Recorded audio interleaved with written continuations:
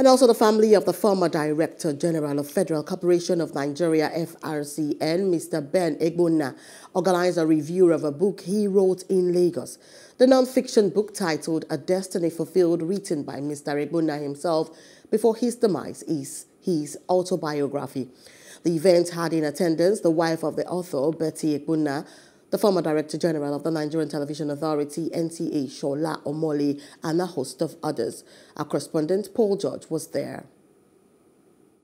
It is a feeling of nostalgia as family, friends, and colleagues gather at a book review in honor of the former Director General of Federal Radio Corporation of Nigeria, FRCN, Mr. Ben Egbuna, who passed in January 2021 chronicling the life and times of the former DJ and author are his family and friends. His wife, Betty Egbuna, recounts with laughter a moment the husband chose radio as his first love. As the first son, Uche Egbuna is thankful his father left a legacy.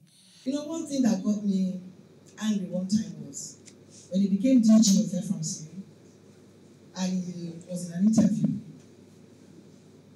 they asked him about the war, he said, in fact, what about your wife? He said, my first wife is radio. Honestly speaking, you say what I'm doing now, you say, I work with myself. He said, do you want to look at my friend? I said, why? He said, Betty, cool now. What's wrong? First you take it. I said, I said, his first wife is radio. It's embarrassing. There's something he always said that he said that no amount of money can buy it.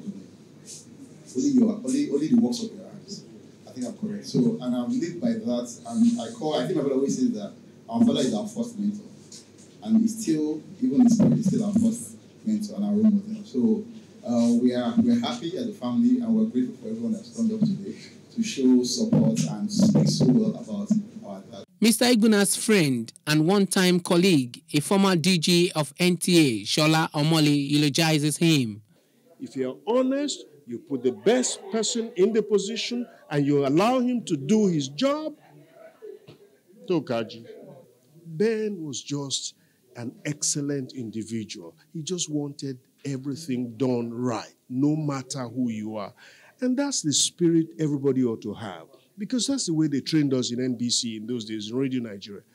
If I was going to read the news, I had to be at the best of my game. If I didn't do it well, the bosses will come down hard on me. So they brought us up well. And Ben imbibed those lessons and put them in practice every single day. That's what we ought to be doing. Other colleagues pay glowing tributes. Ben was an engaging, strict, upright individual. His professional work helped to shape public broadcasting in Nigeria. For over 35 years, he helped to shape two of Nigeria's major public institutions in the media, Radio Nigeria and Voice of Nigeria. This man's life was an adventure, an adventure worth reading. I wanted to go for a fellowship, and um, people here in Lagos, the Lagos office said no, there's a ban on people going for fellowship. And I tried and tried. And then somebody said, well, if we can go to Abuja and talk to the DG, maybe. But I went and I saw him and he, he laughed. He just debunked all that I heard in Lagos. And there was nothing like that. He didn't say that. And so he asked me, what do you want? And I said, I needed an endorsement for my application. And he gave it to me you know, so I'll never forget. That's why I got certified as a media trainer. A lot of people believe that success is something you step into.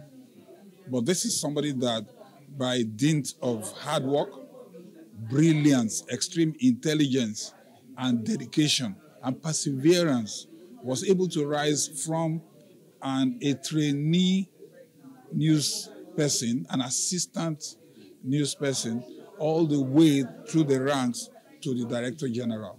And I can tell you, it wasn't an accidental thing. His friends, family, and colleagues all believe that Ben Egbuna may have shared his earthly vessel, but his soul lives on in his great work.